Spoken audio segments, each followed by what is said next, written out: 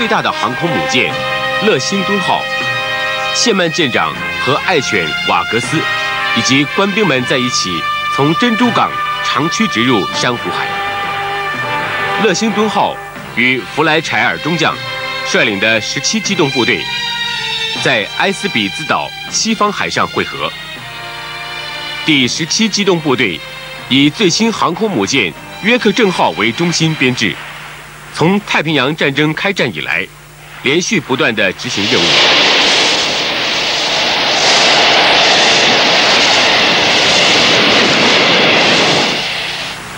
日本的 M.O 战略及新几内亚东部莫尔斯比港攻略战，日军的密码早被美国获悉。为阻止此一计划，包括澳洲的巡洋舰“澳洲号”、“奥巴特号”，英国海军少将克雷斯指挥的美国巡洋舰“芝加哥号”，联合国机动部队都武装出击。M.O 战略是指日军攻占莫尔斯比港部队，由驱逐舰护卫下，从拉包尔乘十一艘运输轮离港，其中部分部队。被派遣去占领图拉吉。另一方面，以航空母舰“祥鹤”、“瑞鹤”为中心的攻击部队，离开特拉库岛，前往南方，准备与妨碍 M.O 战略的美军舰队决战。一边除去澳洲东北海岸基地飞行队的妨碍，一边控制珊瑚海制空权，攻占莫尔斯比港，借以压制拉包尔联合军的反击。又能打断美军与澳洲军的联络，固守日军占领地。小型改装航空母舰“翔凤号”的任务是从上空掩护四艘重型巡洋舰、三艘轻型巡洋舰、六艘驱逐舰，由十二艘运输艇所组成的 M.O 攻略部队。四月二十九日，在日本联合舰队司令部的指挥下。以祥鹤、瑞鹤为中心的 M.O 机动部队，要他们取消对澳洲东北部的攻击。上级指示 M.O 机动部队应以对抗敌军机动部队为首要任务。对于澳洲要地的空袭，应考虑到同队兵力。关于澳洲北方海域情况，尤需慎重以赴。联合舰队司令部在这种情况之下，对美日双方舰队的决战，已具有某种预知的能力了。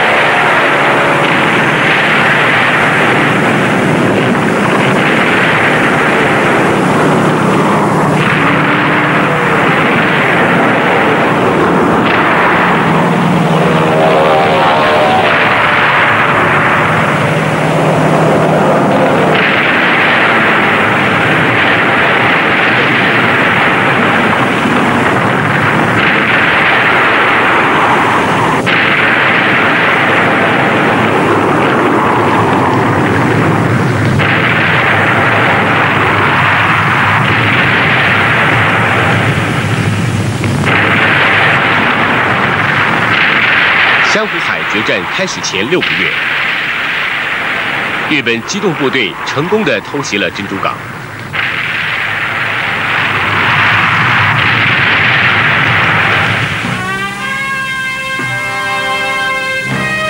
给予美国太平洋舰队主力战舰毁灭性的重创，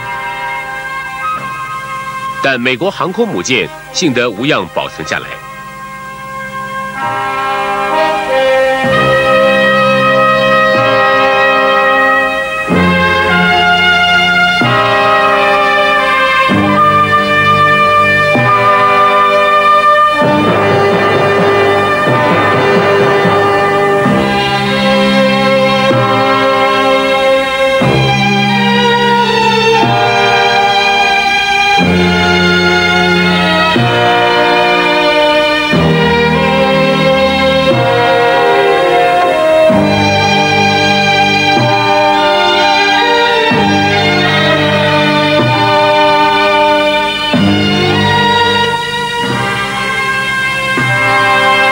在奇袭后立刻返航珍珠港的航空母舰“企业号”及“乐兴敦号”，不得不代替战舰，成为美国太平洋舰队的主力，对连战连胜的日本作战行动给予侧面的威胁。日本莫尔斯比港攻略部队将要出发的拉包尔，是一九四零年一月二十三日被日军所占领，成为日军东南太平洋窥视莫尔斯比港的一大基地。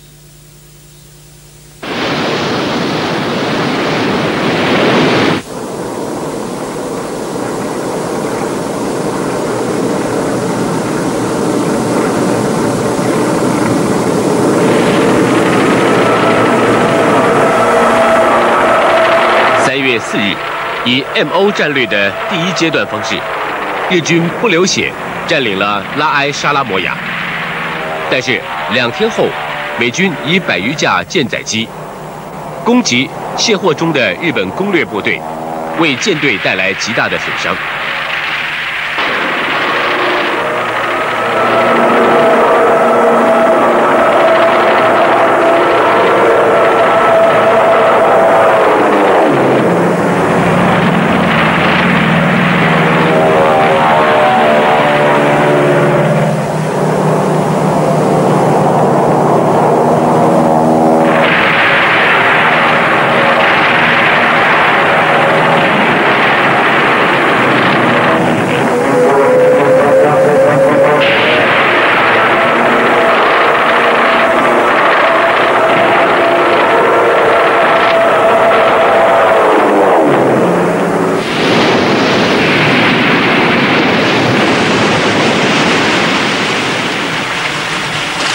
四月十八日，大黄蜂号与企业号两艘航空母舰逼近日本近海，执行大胆的战略，让陆军 B 二十五轰炸机从其甲板起飞，成功的完成了首次的日本空袭。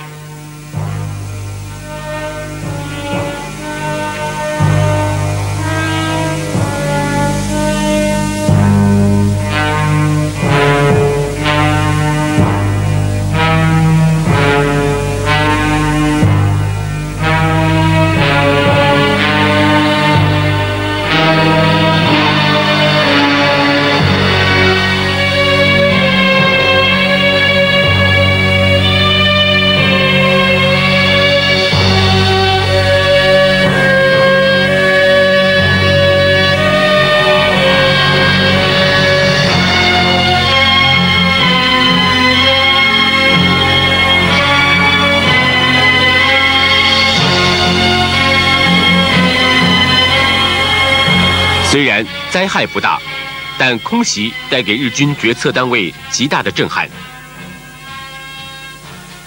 如今，在珊瑚海所环绕的澳洲新几内亚，以及所罗门群岛等地，将要对决的日军第五航空船队指挥官袁绍将，与联合军第十七机动舰队指挥官弗莱查尔少将，他们真的了解这是历史上第一次航空母舰的战斗吗？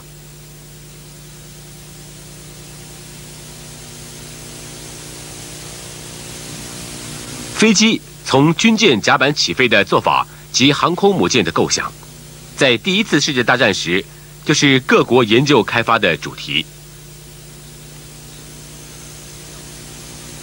从甲板起飞时，船要迎接行驶飞机，引擎要快速转动。这个问题比较容易解决，但着舰就非常困难。训练中已牺牲了不少人。关于着舰方式有种种办法。美国的设计是甲板上拉钢索勾住装在机上的钩。一九一一年一月，这个实验成功了。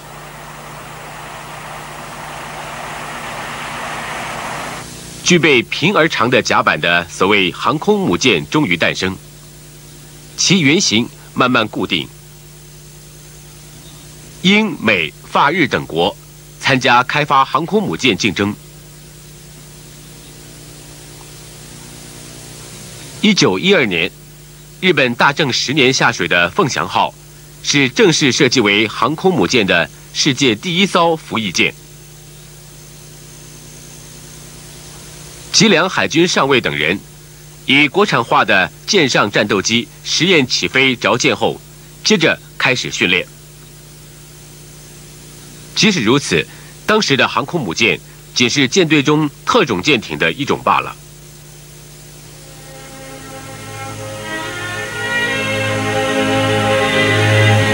凤翔号下水的那一年，在华盛顿所举行的华盛顿裁军谈判上，决定各国军舰最大吨位为两万七千吨。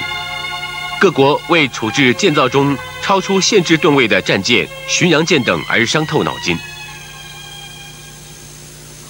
但裁军加盟各国都同意可以建造两艘三万三千吨的航空母舰，因此那些大型舰不得不改为航空母舰。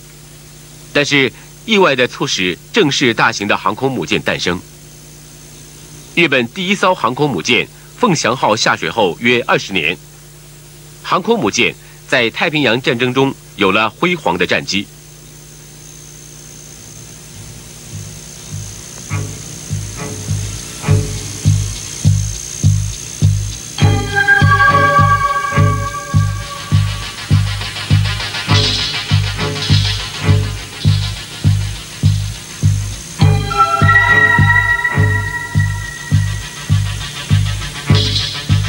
本的主力航空母舰赤城、加贺都是由战舰变更设计而成。美国的乐星敦、萨拉托加也都是经过同一演变过程的三万三千吨大型航空母舰。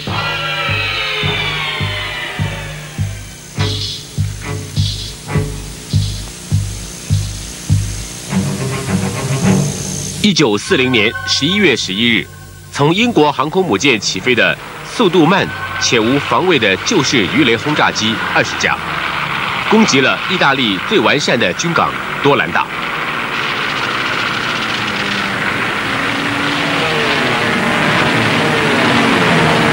那里集结了意大利所有的主力舰，当地以鱼雷防御网和障碍气球防卫着。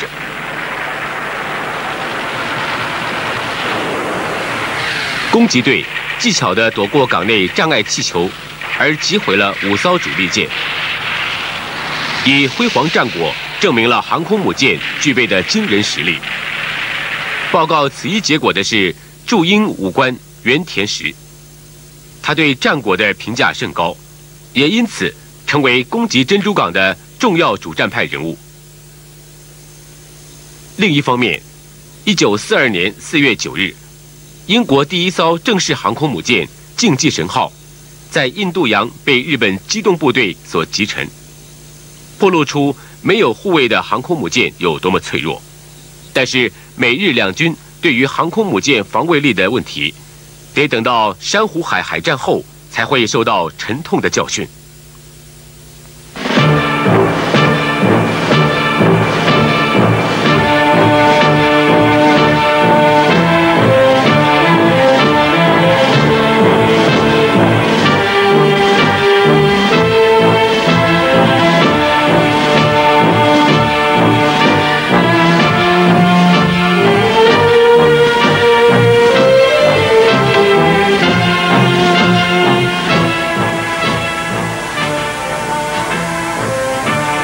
战略按照计划开始。五月三日，日军攻击图拉吉部队，日军攻略图拉吉，立刻设立水上机基地。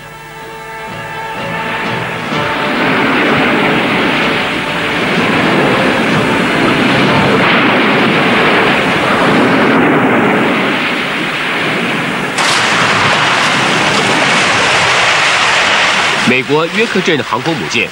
留下加油中的乐星中号开始往北前进。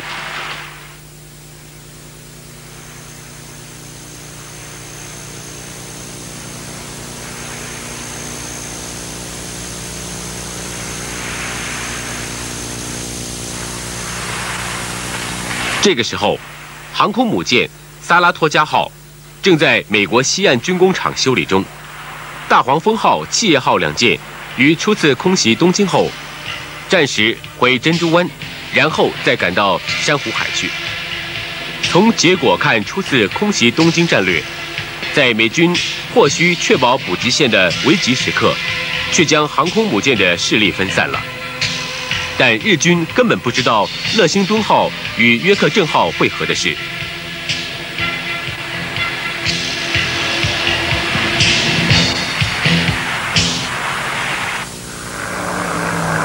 五月四日清晨。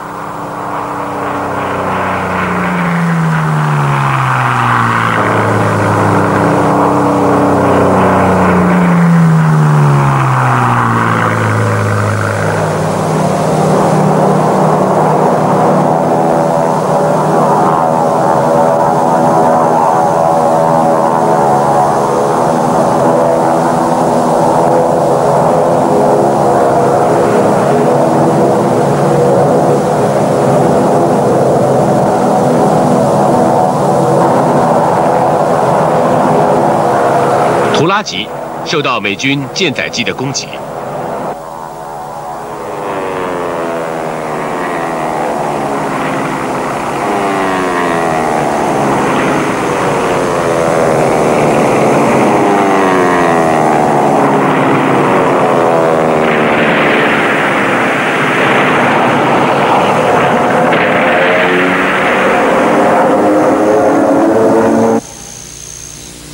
由美军攻略图拉吉，日军探知联合军机动部队进入珊瑚海的事实，日军不得不更加慎重，迅速的进行作战。莫尔斯比港攻略部队于五月四日下午依照计划离开拉包尔，虽然对出现珊瑚海的联合军机动部队稍感不安，但仍有充分的自信能对付对方而出击。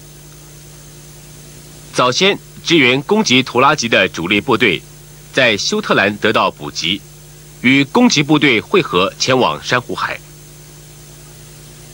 这时候，完成攻击图拉吉的约克镇号再度与乐星敦号会合。从五月七日清早开始，日本 M.O 机动部队的主力队同时展开搜敌工作。五点四十五分接到报告。发现联合机动部队，日军清出所有的飞行兵力，迎敌攻击。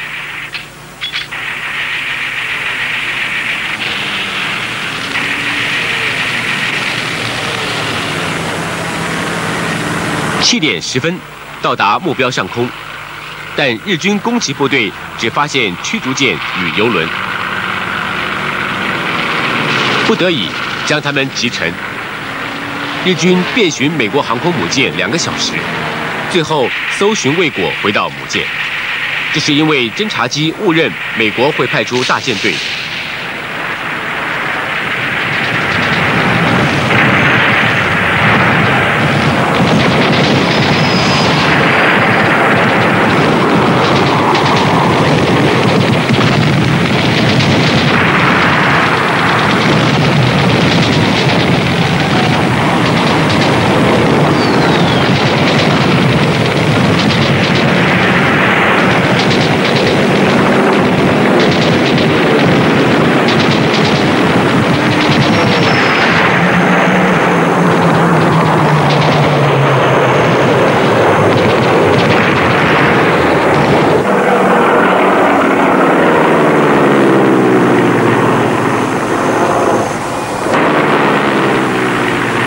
联合军方面也在差不多的时间开始搜敌。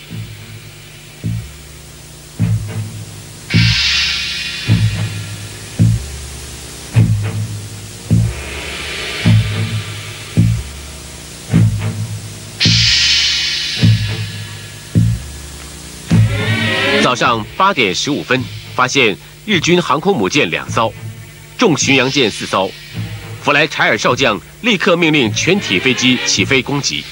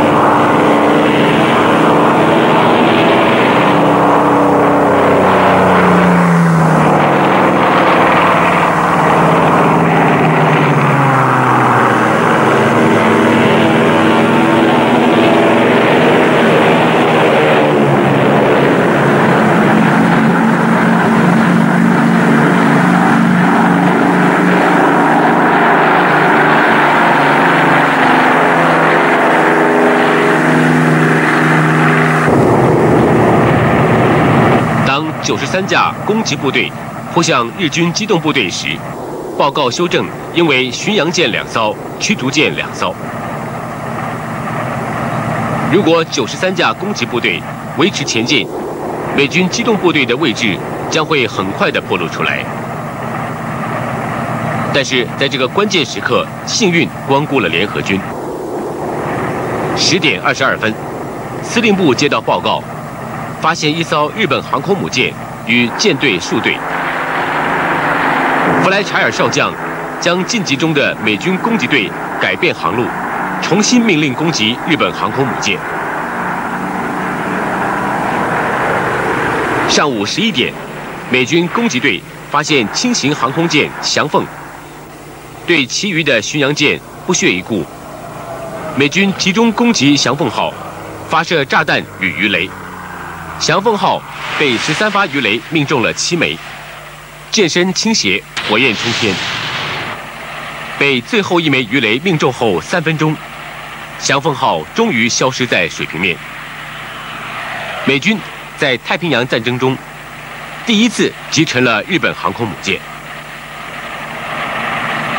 十二点，日军虽然发现前进中的美军航空舰，但因距离太远，暂时打消攻击计划。两小时后，据报联合军变更航路，偏东行驶。袁少将于是命令攻击队起飞，但攻击队不仅找不到锁定目标的航空母舰，更受到埋伏的美军战斗机的奇袭。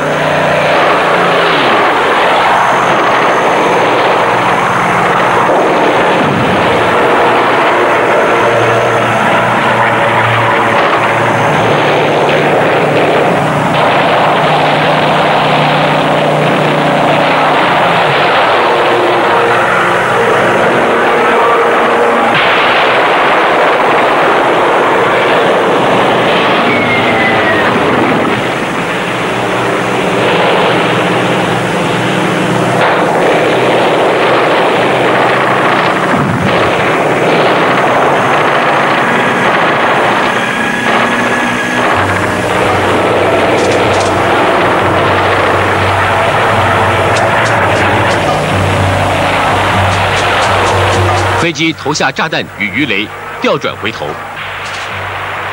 途中从云中发现包括航空母舰的联合军大机动部队，但已错失时机。此时日本攻击部队已经丧失了攻击能力，只得黯然地回到舰上。部分日本攻击队误认美军机动部队为日本母舰，竟采取着舰态势。约克正号亦以为来者是美机，而准备接其着舰，结果是令双方大为诧异的错误。可见双方都不甚明白彼此的位置，而形成混乱状态。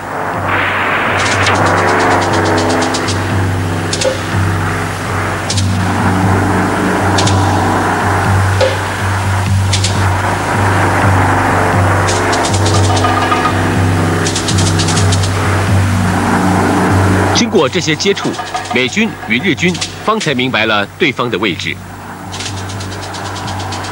M.O. 机动部队寄望于第二天八日的攻击而北上，美军机动部队则南下过夜。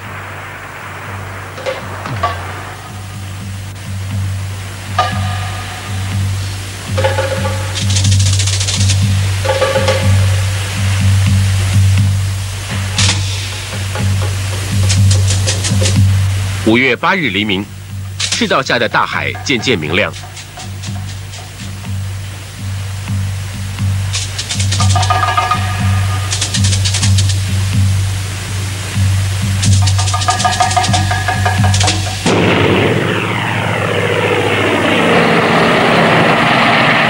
六点二十二分日军发现联合军机动部队。几乎同时联合军也发现日军机动部队。日本的航空母舰是翔鹤与瑞鹤，舰上飞机一百二十二架。美军航空母舰是乐星敦与约克镇号，舰上飞机是一百二十一架。日军的优势是战斗机与鱼雷机，飞行员大都有实战经验，鱼雷也比美军的优秀。另一方面，美军占优势的是轰炸机，舰队对空炮火无懈可击。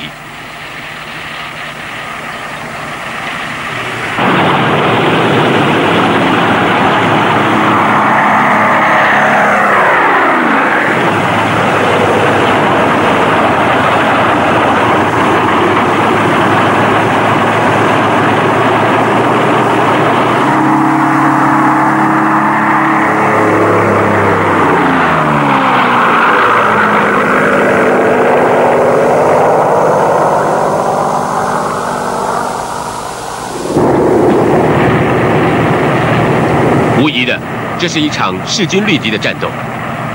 美日机动部队分成四组，历史上第一次的航空母舰对决开战了。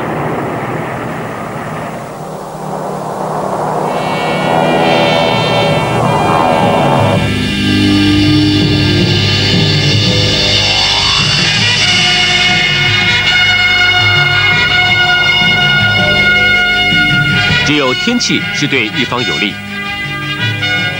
前一天，联合军借助云层藏身，但是今天没有任何东西可以隐藏。两军航空母舰部队同时向对方开战。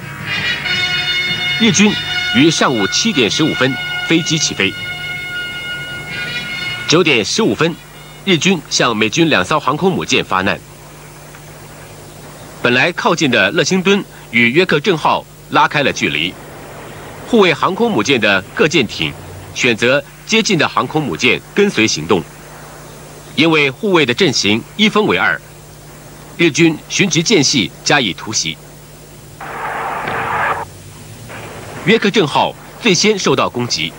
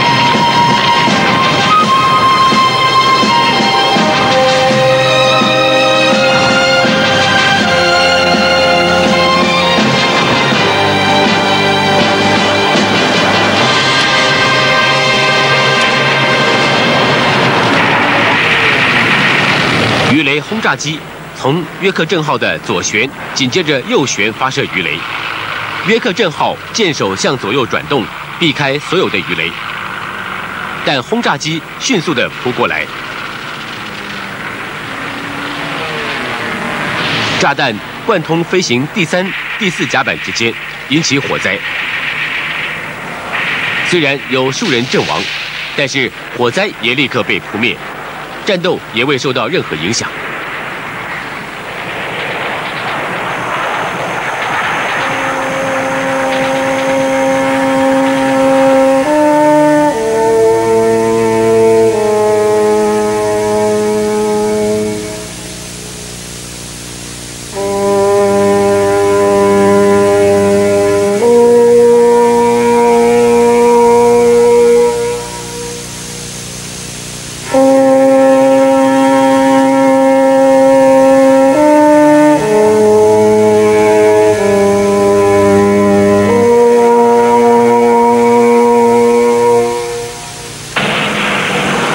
在这个同时，乐星敦号也遭到了攻击。日军把攻势集中在体型巨大、行动缓慢的乐星敦号。日军鱼雷轰炸机从舰首两旁同时攻击。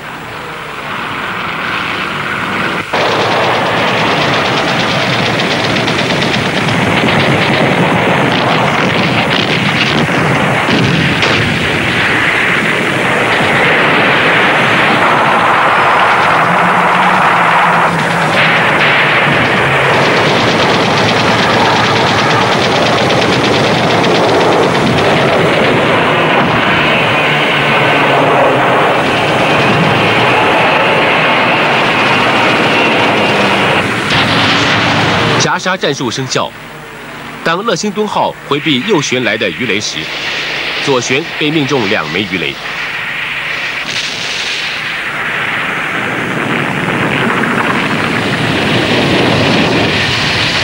乐星敦号倾斜六度以后，移动重油恢复了平稳，速度也没有变慢。两艘美军航空母舰开始收纳飞机。乐星敦号回舰的飞行员未察觉母舰已受到了损害。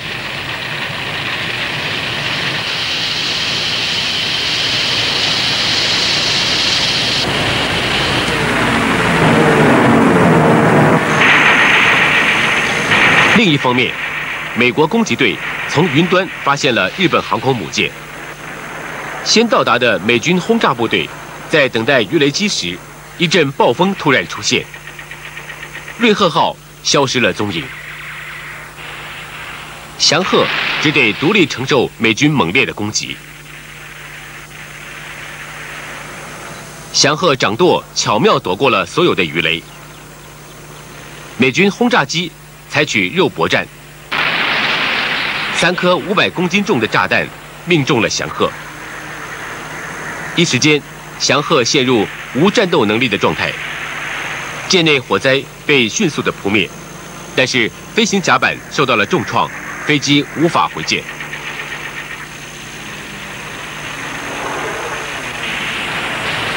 乐星敦号的灭火作业和修复工作奏效，倾斜不在，飞机可以回舰的速度亦维持正常，但隐藏的伤痛终于要了巨舰的命。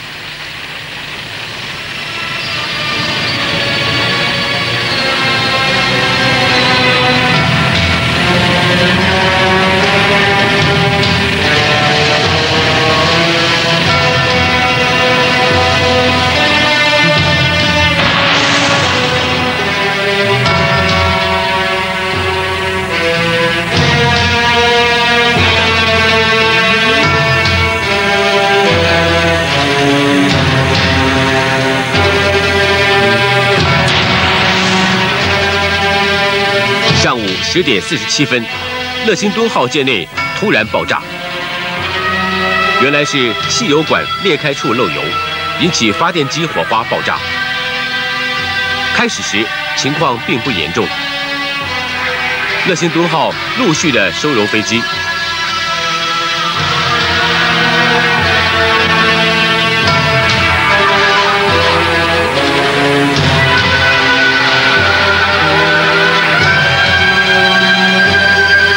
是中午十二点四十三分，再度引起重大的爆炸，舰内火势迅速蔓延，火焰爬过舰内所有的地方，不断的发生小爆炸。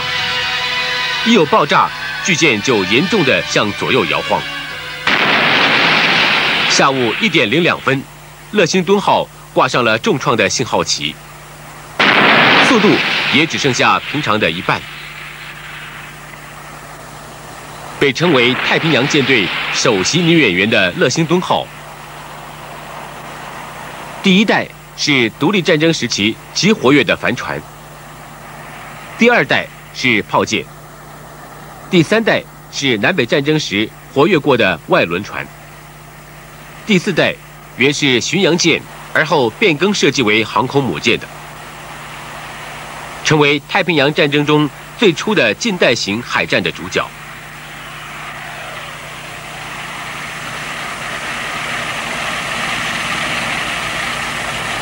下午三点十分，努力救助乐星敦号的谢曼舰长，终于发出全体士兵撤退的命令。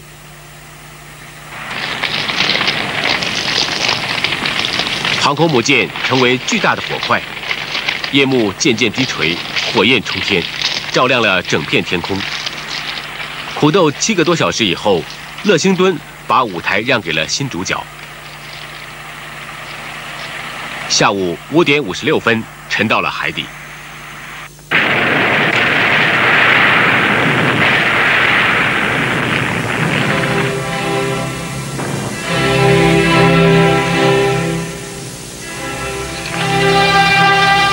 四周急剧的暗了下来。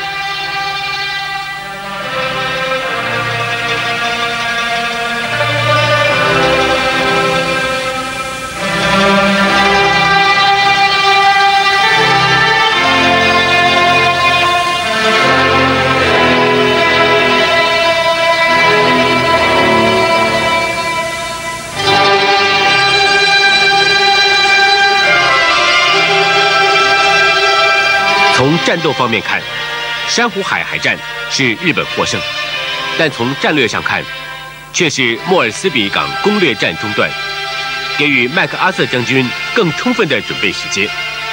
后来的中途岛之战，日本在强力航空母舰翔鹤、瑞鹤都无法参与的情况下，可以说带给联合军无法估量的大帮助。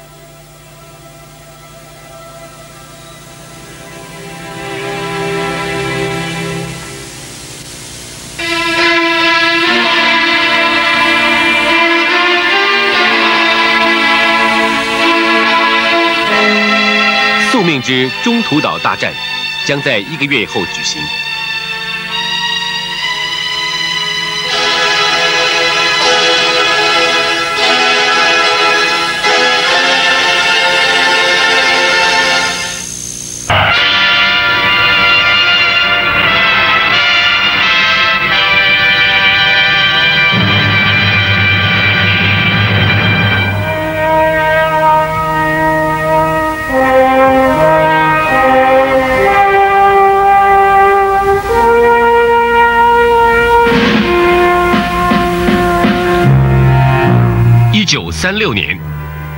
我已经使用十六 mm 彩色影片。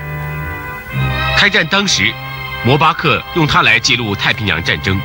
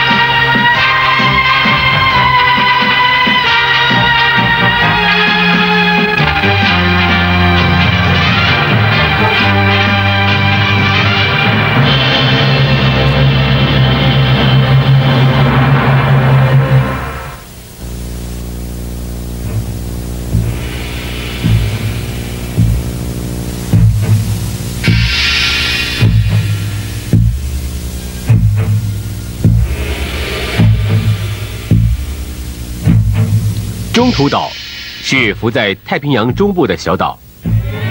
开战以来，连战连胜的日本视中途岛为继承第一阶段战略后的第二阶段重要战略目标。日本想用占领不毛之地中途岛为饵，引来美国航空母舰群，再一口气加以歼灭，并想再进一步攻占夏威夷，然后进军美国西海岸。如果日本在中途岛作战成功，将成为美国的重大威胁。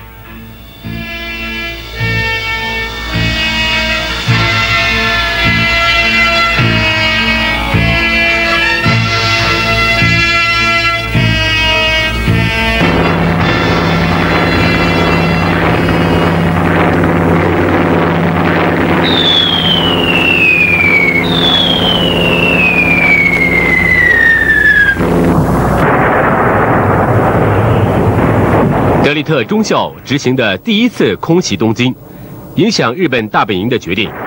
不过，准备是否充足，强行进行中途岛作战。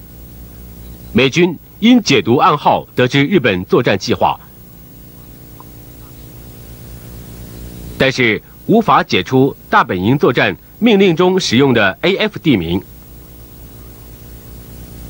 太平洋舰队司令官尼米兹上将。故意叫中途岛发出水不足的电报过来。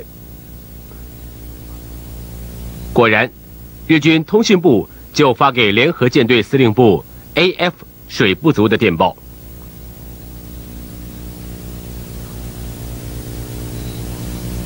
尼米兹上将于是决定亲自飞往中途岛，加强保卫反击措施。岛上守备队。抱着必死的决心，他们利用威士忌空瓶做火焰瓶，或者是以手电筒造地雷。当时，著名的电影导演约翰·福特也在中途岛上。据说他一边准备摄影工作，一边说：“这一次该轮到自珍珠港之役以来连战连胜的日本海军吃瘪了。”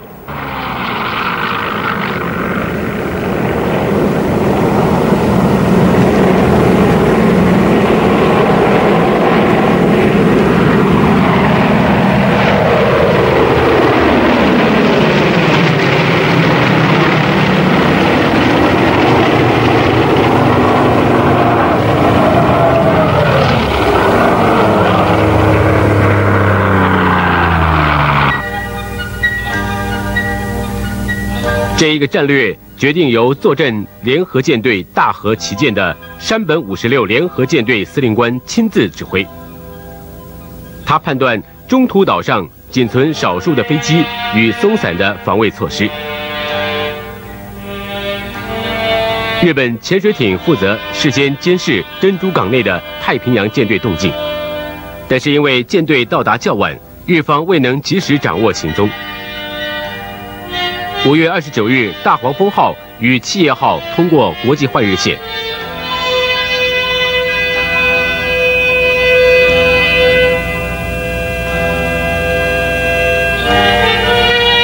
约克镇号也在五月三十日通过。日方未能侦测到三艘航空母舰通过，成为日本败阵的原因。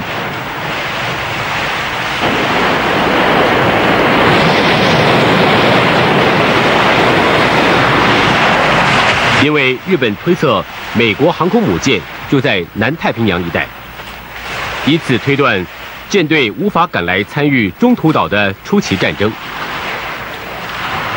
总之，日本完全没有掌握到最需警戒的敌军航空母舰之行踪。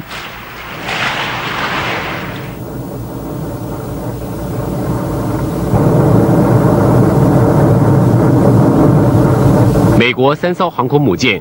因为被日本查知，得以在中途岛东北方六百里的预定地点会合。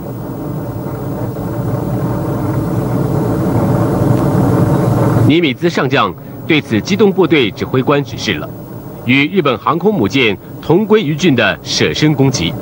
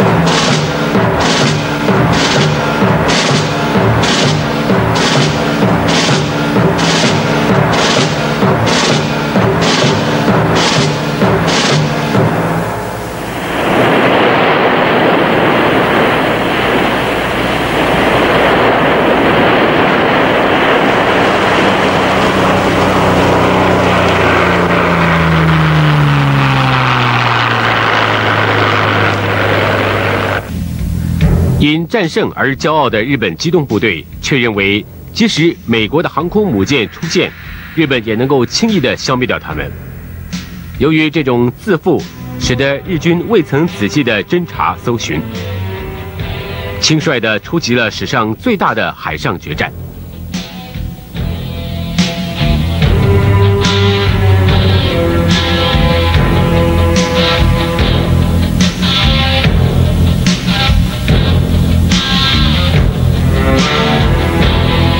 承载陆上部队的运输轮船，机动部队后方是包括大和等共七艘战舰的主力舰队。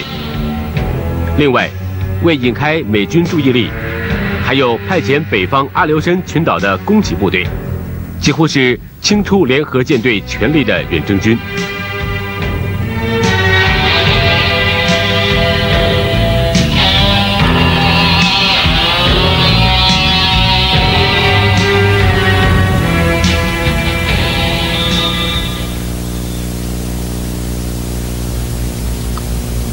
六月四日早晨，美军侦察机加达里纳飞艇在中途岛西方海上发现日本的运输轮船。当天下午，B 十七轰炸机晚上抱着鱼雷的加达里纳飞行艇各自攻击轮船，但是日方几乎没受到什么伤害。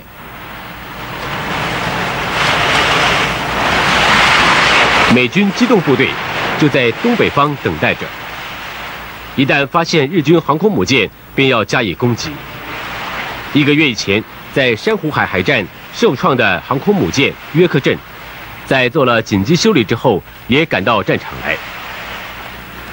这些航空母舰周围，由具有强力对空炮火的护卫舰队摆出人形阵。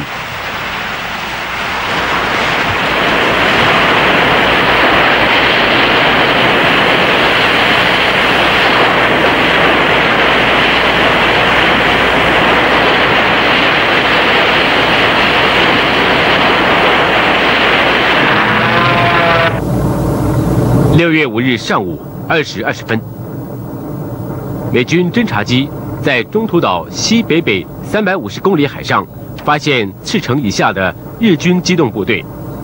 两点二十四分，报告其位置与速度等。中途岛基地的飞行队接到报告后陆续起飞。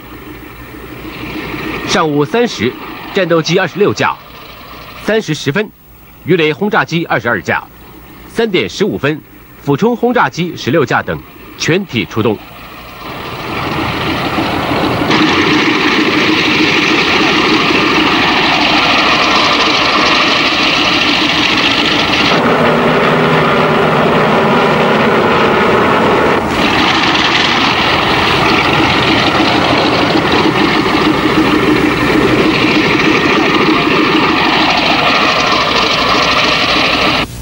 龙特雷斯俯冲轰炸机、宾格达俯冲轰炸机、复仇者鱼雷轰炸机、掠夺者轰炸机、温和猫战斗机、野牛战斗机等，所有全部出动。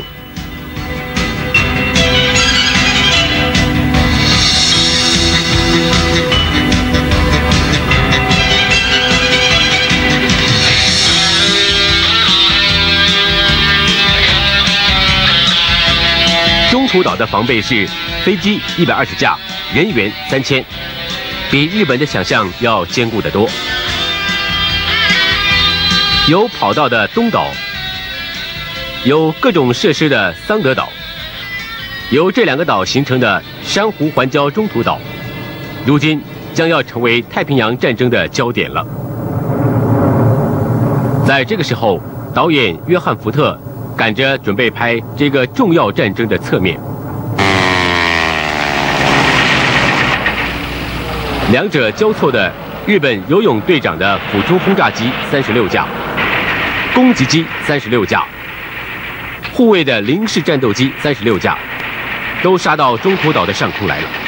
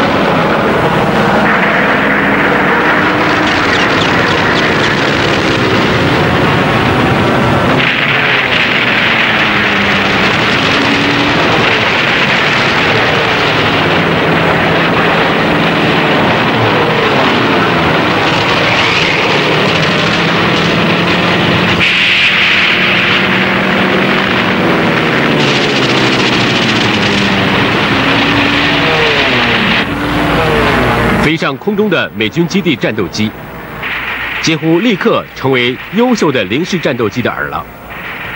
但是，正在等待的对空炮火封锁了日机的攻势。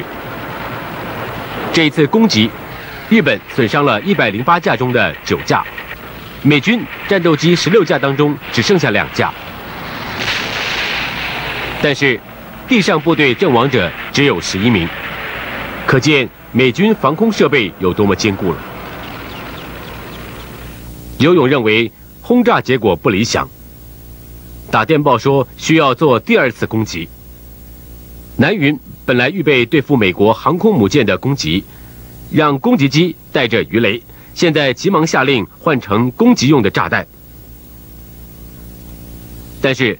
从中途岛基地起飞的美国攻击队，被零式战斗机打得几乎全军覆没，对日本航空母舰，连一颗炸弹也没有办法命中。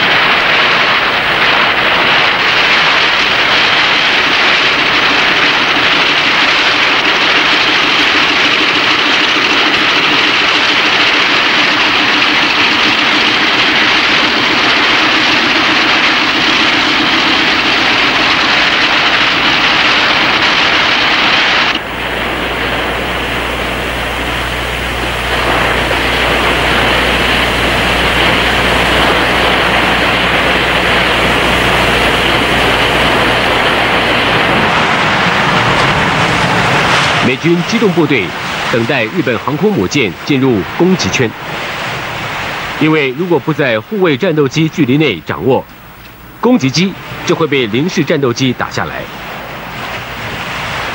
日本零式战斗机比美国战斗机飞行距离长的很多，如果被发现，显然会受到日本飞机的攻击。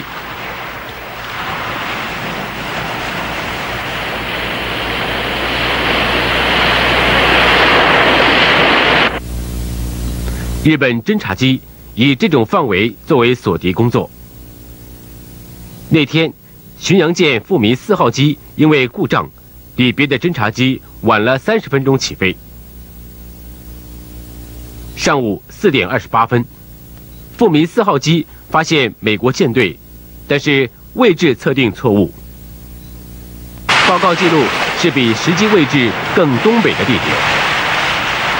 美国舰队。就在南云舰队正西约三百五十公里海上，位置报告错误，使得后来的侦察与攻击落后，并且成为中途岛海战中日本的致命伤。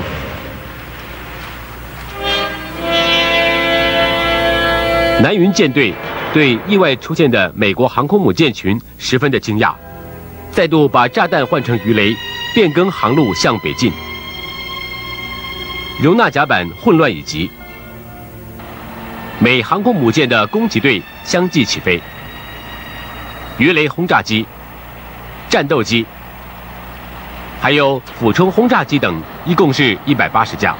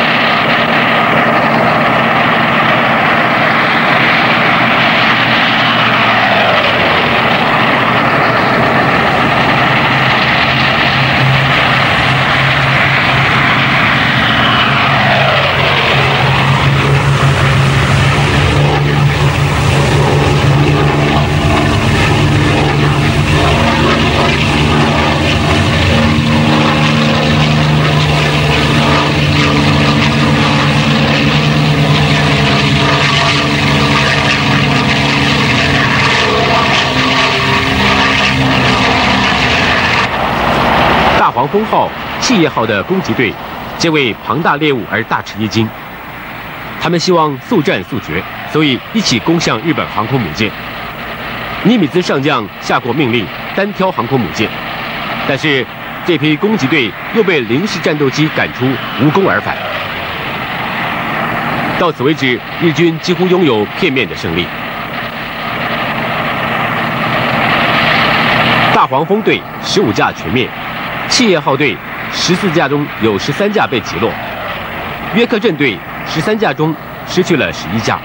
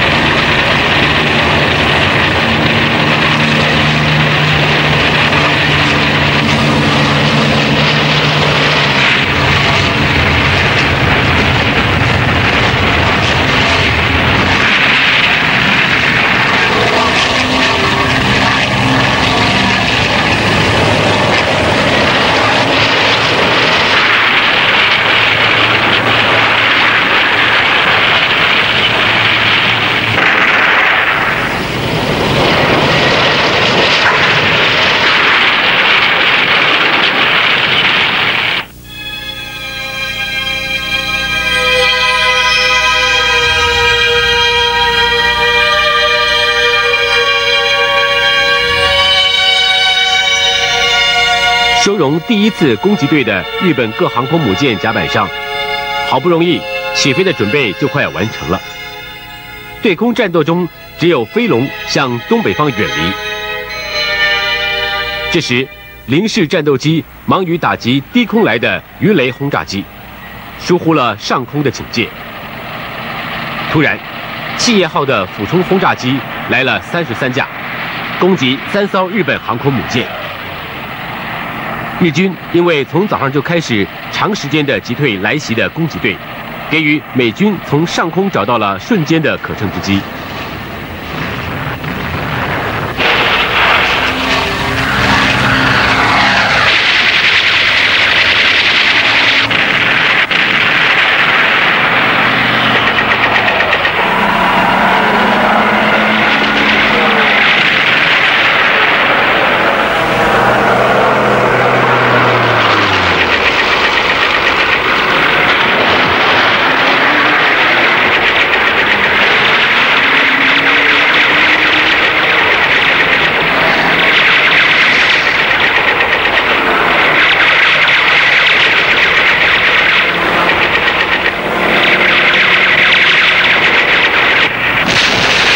及赤城号的美军第二号机，炸弹贯穿了甲板，在飞机库内爆炸。起飞前攻击机的鱼雷，以及刚卸下的炸弹，一个一个的引发爆炸了，立刻发生了大火灾。加贺和苍龙也一样，过去一直占优势的日本航空母舰部队，遭遇这种命运后数秒，立刻呈现地狱般的景象。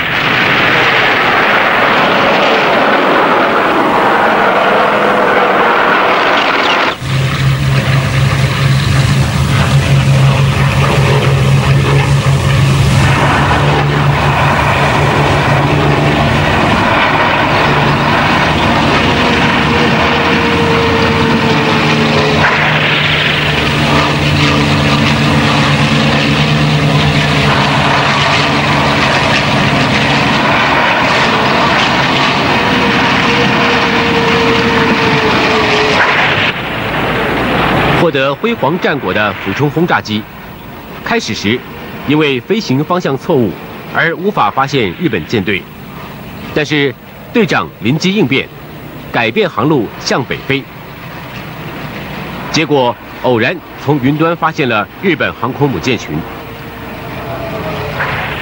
稍早的攻击队虽然陷入全灭命运，但是仍然从低空冲击，结果使日本的上空掩护部队注意力集中到低空，导致南云机动部队产生致命的间隙。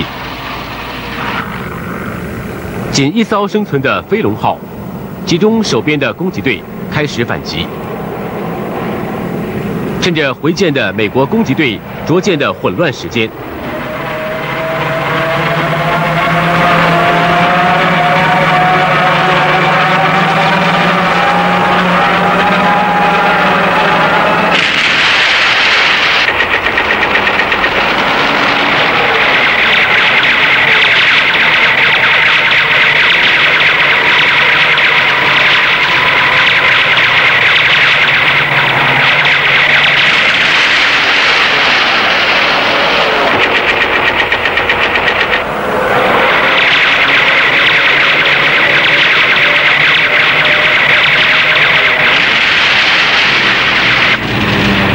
发现的是约克镇号。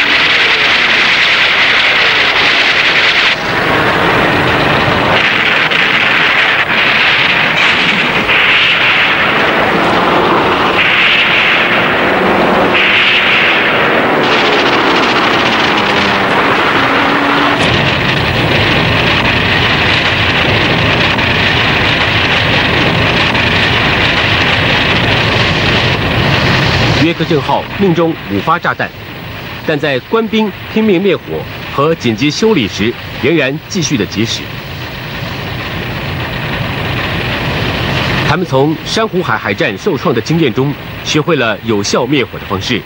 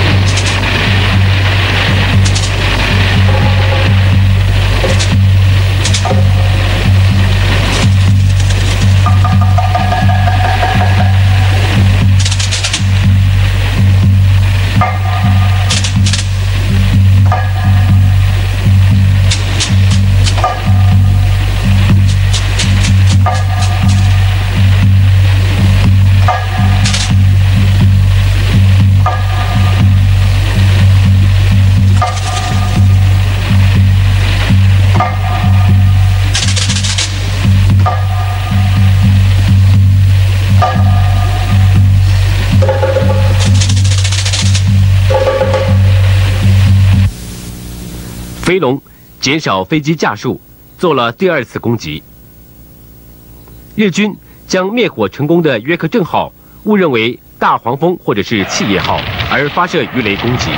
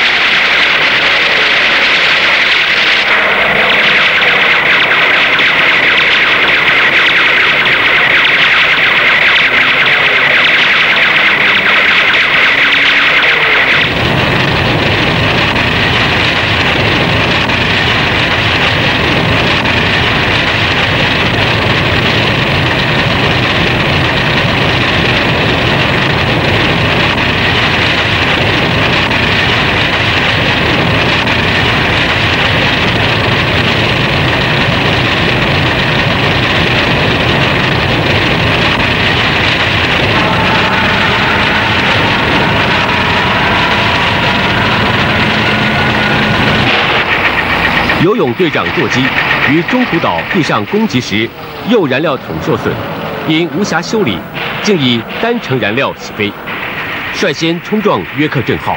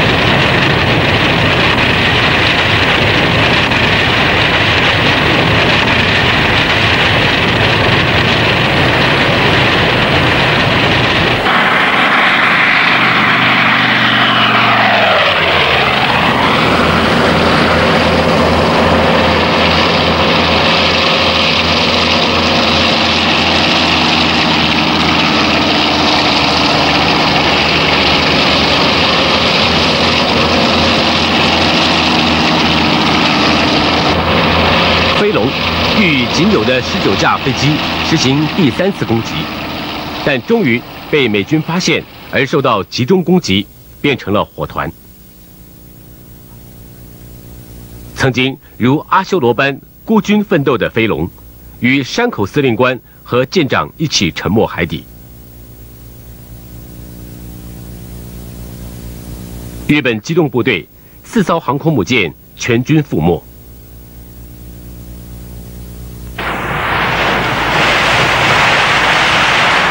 在珍珠湾成为漏网之鱼的美国航空母舰的攻击，受到如此重大的报复，是山本五十六连做梦都想不到的事。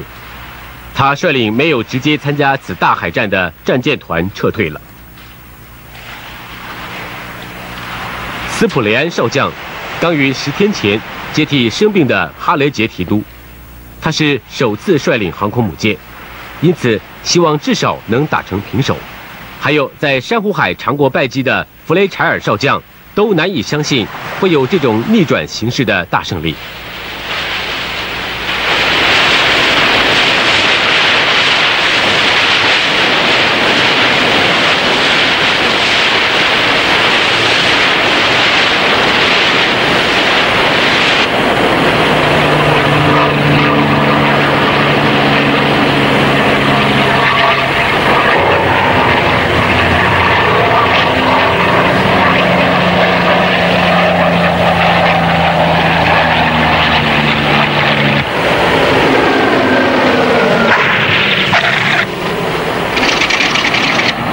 经过殊死苦战的美国机动部队，虽然丧失不少舰载机，但是终于把可怕的日本主力航空母舰群击沉于中途岛的海底了。美国首先在情报战上获得胜利。日本潜水舰的锁敌作业落后，而且未做侦察机的侦察工作，决战当天的侦察也不够充分。美国明了日本行动，但是日本完全没有掌握美国行动。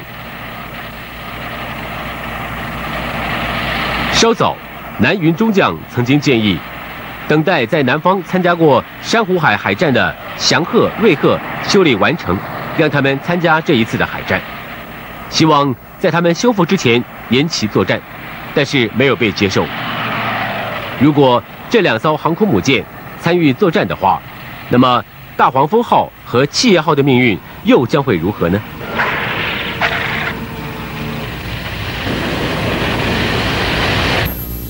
约克镇号虽然受过两次攻击，但尚未沉没，而且继续努力，期待能到达夏威夷。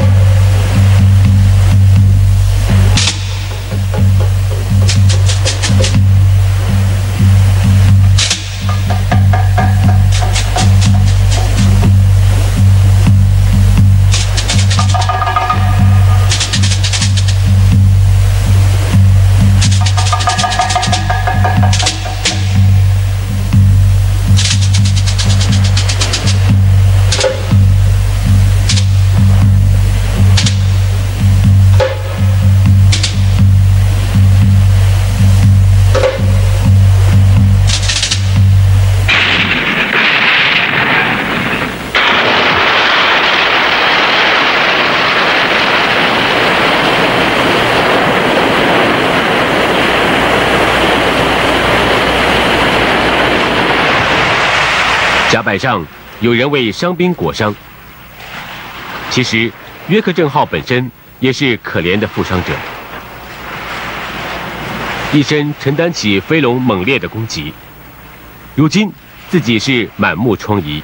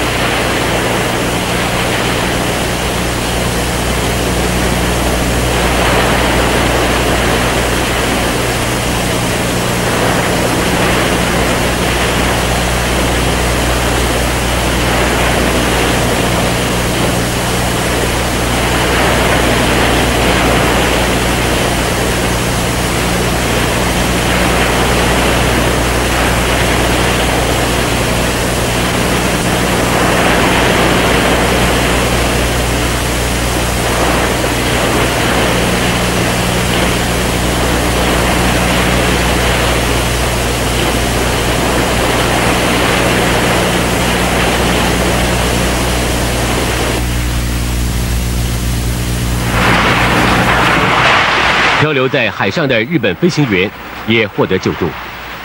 丧失四艘航空母舰，当然值得痛心。但是日本无法弥补的创痛是，一口气丧失了太多开战以来的资深飞行员。此一海战，美国失去飞机一百五十架，阵亡三百零七人；日本失掉两百五十架，阵亡三千五百人。这个时候，日本潜水艇接到击沉约克镇号的命令。七日早晨，四枚鱼雷终于给约克镇号致命的一击。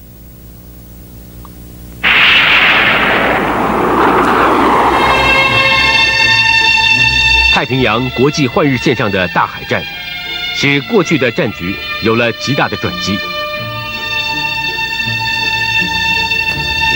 据说，尼米兹上将曾经表示，中途岛的胜利只不过是行走到半途罢了。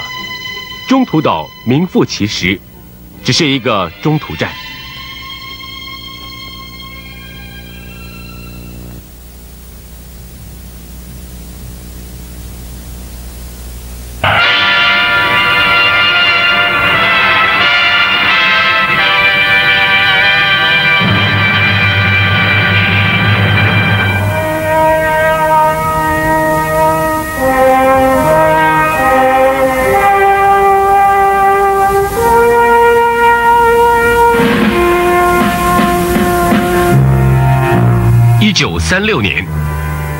经使用十六 mm 彩色影片。开战当时，摩巴克用它来记录太平洋战争。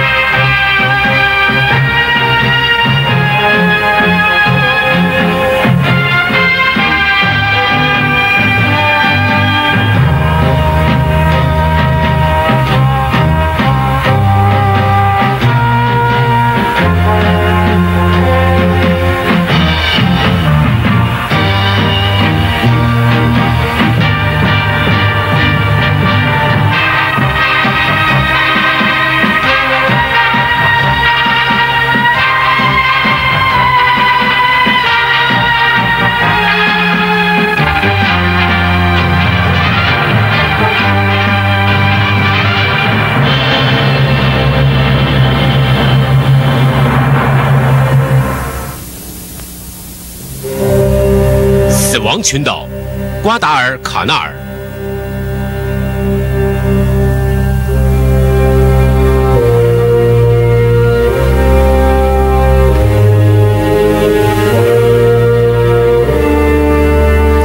澳洲是美军的反击基地，而且是重要的战略据点，对美日双方都非常重要。攻占澳洲。虽然是日本大本营海军部所提出的战略，但是因为大本营陆军都考虑到深入澳洲全境可能会超出国力界限而表示反对，因此决定采用旧的策略，也就是 FS 作战的开始。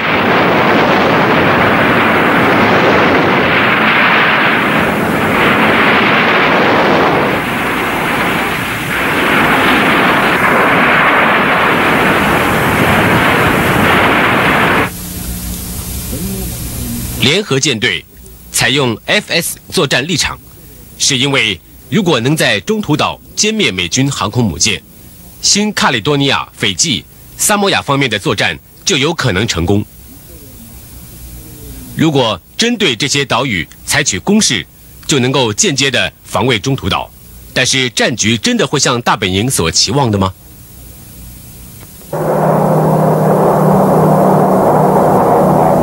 一九四二年六月，中途岛海战。